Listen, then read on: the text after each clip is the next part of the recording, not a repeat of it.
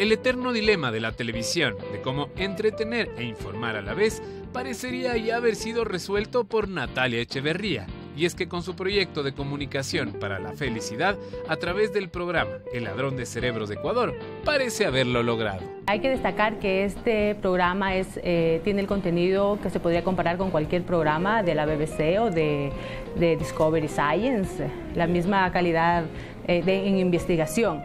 Lo bueno de este programa es que nos muestra los paisajes de Ecuador, entonces los ecuatorianos se van a sentir identificados con esos científicos y con las áreas naturales del Ecuador. El proyecto que ya está materializado y que saldrá al aire por primera vez este viernes 17 de junio promete, a través de la divulgación científica, hacer que desde el más pequeño de la familia se interese por la ciencia. Lo que nosotros buscamos con el programa es tener ecuatorianos informados. Sabemos que el conocimiento es parte fundamental para tener ciudadanos más felices, ¿no? ya que a través del conocimiento que ellos pueden captar pueden gestionar mejor su vida cotidiana.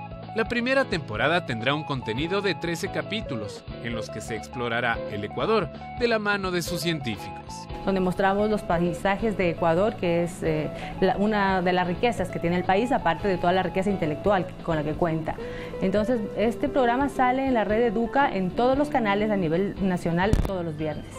No se pierde entonces El ladrón de cerebros de Ecuador, una serie que promete democratizar la pantalla y combinar el entretenimiento con la educación.